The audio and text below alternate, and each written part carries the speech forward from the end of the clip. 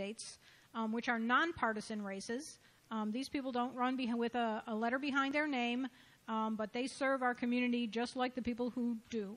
So first we have Mr. John Edwards.